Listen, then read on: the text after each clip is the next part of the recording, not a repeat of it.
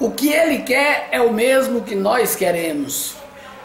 Uma política com honestidade, uma política que real, um político que nos represente. É disso que nós estamos precisando na Câmara Municipal de Goiânia. Gilson Caroço é o candidato que reúne as qualidades para ser o nosso representante na Câmara Municipal. Eu, Reinaldo Cruz, recomendo Gilson Caroço 19450.